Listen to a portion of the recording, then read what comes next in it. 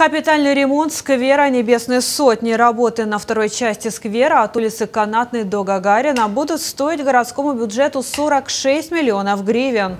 Про это стало известно из системы публичных закупок «Прозора». В управлении капитального строительства сообщили, что аукцион запланирован на 16 августа. Строительные работы подрядчик должен будет завершить до конца следующего года. Согласно плану капремонта, подрядчик расчистит территорию для обустройства мемориала воинам АТО и заменит все коммуникации. Кроме того, объект украсят декоративными клумбами, а также установят видеонаблюдение и Wi-Fi. В зеленой зоне появится площадка для выгула животных, место для отдыха, а на подъезде к скверу построят парковку.